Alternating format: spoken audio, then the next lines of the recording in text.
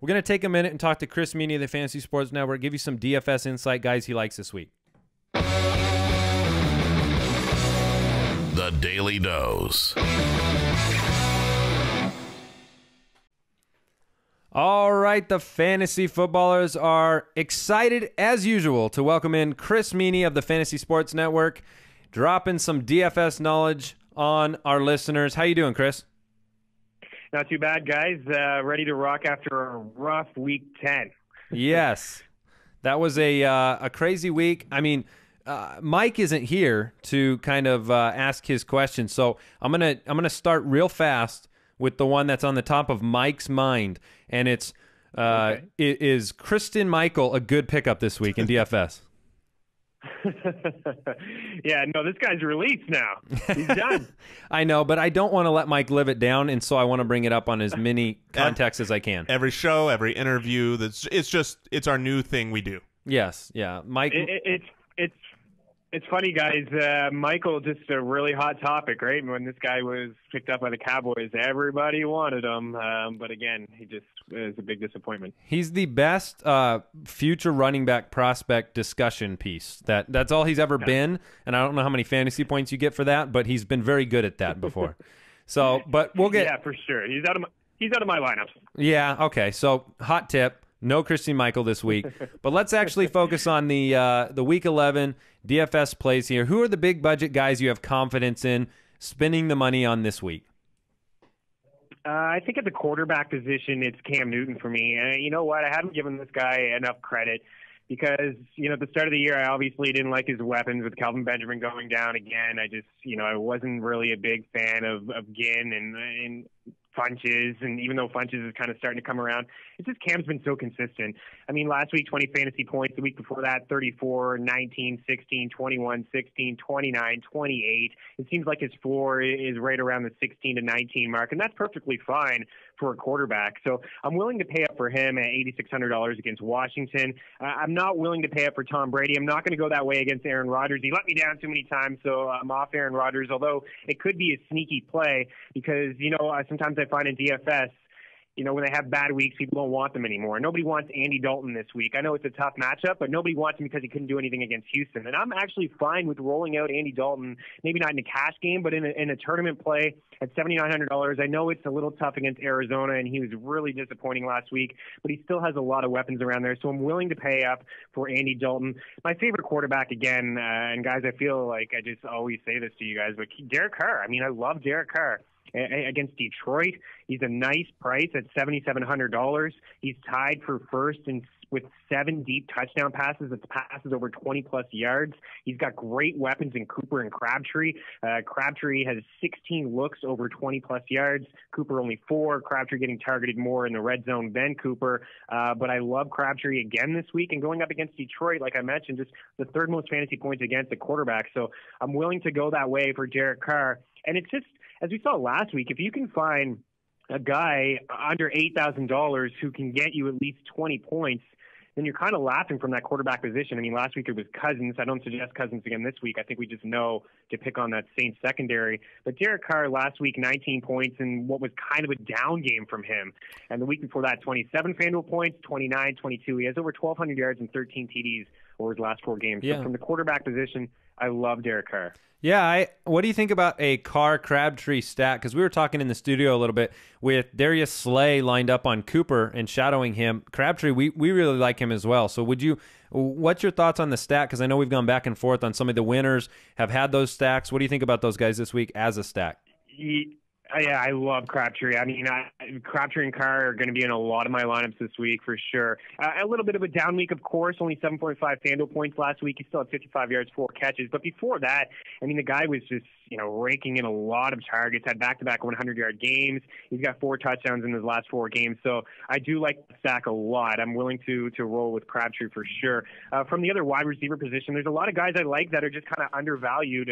Obviously, Amendola has a bigger role with New England Patriots this week, only $6,100.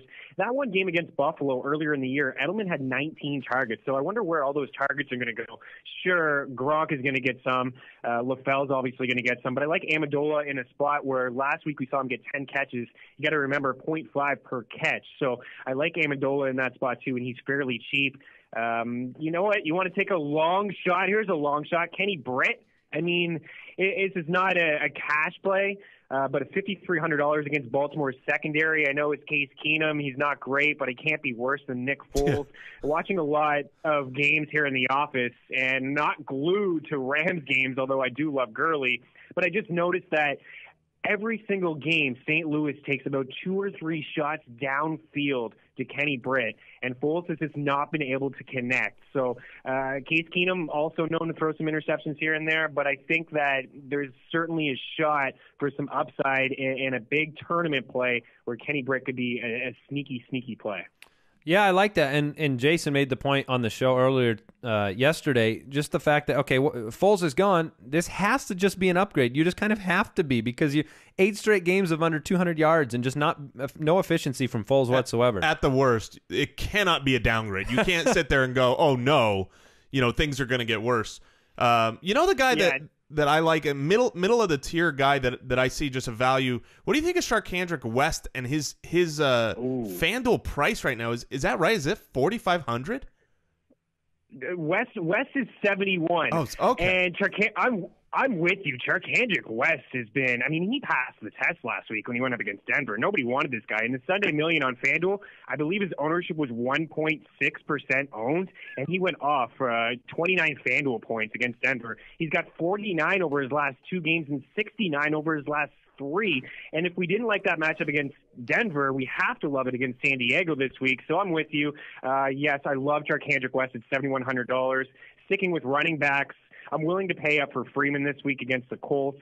Uh, I like that a lot. McFadden too, 105 touches over the last four games for Darren McFadden. You have to think that Romo back now has to help out McFadden a little bit. They don't have to run the ball all the time. He's only $6,800 and has also a nice matchup against Miami. Also willing to pay up for Adrian Peterson. He seems to be the only running back uh, you take a look at, I don't know what your guys' rankings were, but take a look at the top 15 running backs. A lot of them hurt or bust besides Adrian Peterson, he seems to be consistently getting it done. The knock on him is not finding the end zone. But against Green Bay this week, eighty nine hundred dollars, also willing to pay up for him. Yeah, yeah. Peterson is one of those guys. When you look at the total carry numbers too this year, there's a giant gap between the second, third, fourth guys and Peterson. He's up almost thirty carries or more ahead of everybody else. So you know the workload's there, and then obviously he's Adrian Peterson. He can break the long touch that at any time, so that that makes it worth it.